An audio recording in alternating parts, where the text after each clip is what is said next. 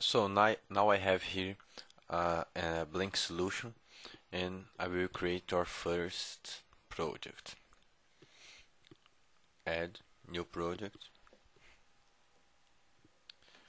Uh, workflow. I will use C sharp and I will call it it's um, sequential work uh, no it, uh, yeah it's a sequential workflow library and I will call it WF library lesson 1 okay.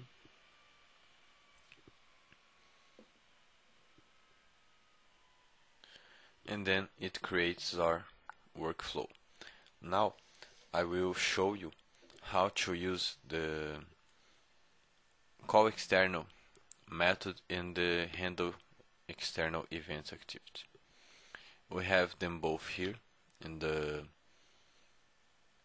in the toolbox. They are here in Windows Workflow version 3.0. So here we are. Handle external event. I will drag it to our workflow and as we note here we have this error, error. what does it say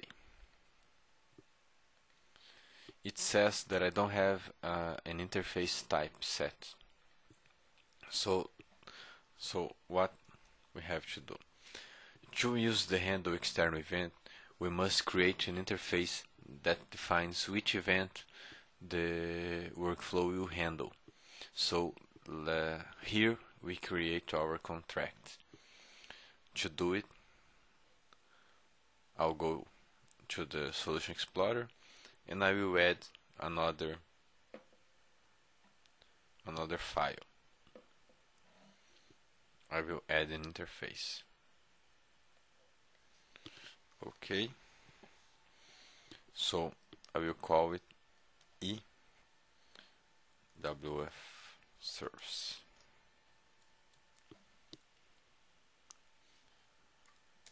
I will add and it's an interface okay? So now I will define my events. And I will have just one event. So I create event event handler. And now I can specify which args I wanna pass. So before continuing I will define I will create a class that will represent my args so I will create here public um, demo public class demo lesson 1 args okay. And it will inherit the external data event args I don't have it here so I click with the right button resolve using system workflow activities. So when you when you create a customized arg you must inher inherit from this from this class. Okay?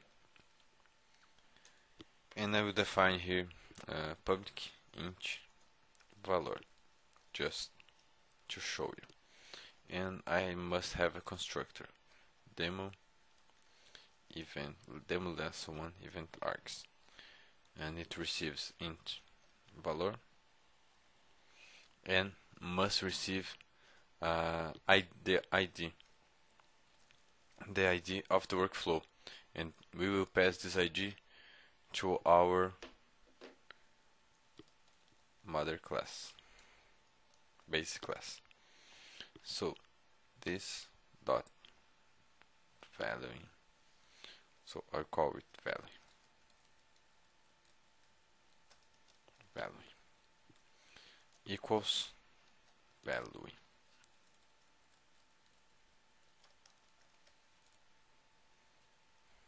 okay. Value So now I can create my event. I will use my demo, demo, demo last one args, and I will call it WF event. Okay, so here I defined uh, event, and I must say I must say that this interface is a workflow interface.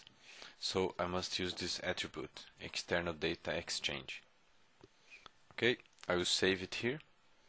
Compile, just just check. Failed. Okay, the error is in my workflow. So now I have my interface created, and I will here in this work in the workflow, I will browse for it. I'm go to the properties window again. And now in the event name, I can search for WF event. And I, can, I could also create a bind to my parameter.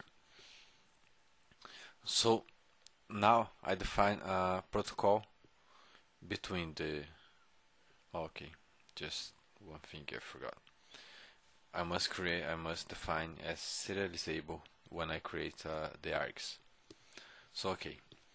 So now I created the communication channel between the workflow when between the ASP.NET application and the workflow.